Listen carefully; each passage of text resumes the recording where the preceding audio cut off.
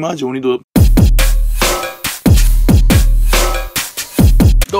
どーぶかばりです。今回紹介するスニーカーはこちらです。エアジョーダン1。今でいうシカゴですね。こちらは高円寺の古着屋さんで購入しました。で、サイズがこちらなんと、なんとね、マジドープなサイズなんですよ。22.5っていうすごい小さいサイズでして、飾られてた感じがめっちゃ可愛くて、だから僕の手と同じぐらい、僕のこの31センチの靴とこんなにも差があって、すげえ可愛いっす。ボーイズサイズとか、レディースサイズとかになるんですけど、散歩してたらたまたまショーウィンドウの中にね、ボンって置いてあって、わっ思って、思わず入ってね、こちら、はい、5000円ぐらいで購入させていただきました。もうすげえ可愛いっす。まあ、状態は94年のものなんで、割とこんな感じですけど、いや、マジでもキュートです。マジ可愛いです。22.5ってサイズやばくないですか？マジキュートです。こちら、ウィングマークがついてまして、エアジョーダンで入ってます。で、こちら、スウッシュが入ってます。かなりキュートです。94年なの、このクタクタ感マジ鬼ドープじゃないですか。もうこの、なんだろう、10年ぐらい多分もう結構履いたんだろうってていう、このクタクタ感が僕逆にマジ鬼ドープポイントだと思ってまして、インソールが一応ちっちゃくちょっと見にくい白に赤で、ナイキってプリントは残ってます。あと94年のなんで、タグが内側についてるんですけど、すごい見にくいです。こちらマジ鬼キュートで、このサイズで挑戦してみました。こんな小さいスニーカーでも。でもまあ、ね、小さいスニーカーでもやっぱ履きたいんだけど履けないですけど、まあ、オブジェとして使ってみたりとか、要は古着屋さんとかであるレジの横に置いといて、こう、ボールペンとか刺したりまあ、ちょっとね、スニーカーがかわいそうかなとかって思っちゃうんですけど、まあ、おしゃれだから、つうか、まあなんか、なんかね、それはそれでまあ、お任せいたします。いや、でもマジ鬼キュートなジョーダン、白赤黒シカゴって言われてるんですけど、まあ白赤黒だと思ってます、僕は。なので、マジキュートな一足なんで、街で見つけたら小さいスニーカーを買っても、すごい悪くはないのかと思います。以上です。どーぶ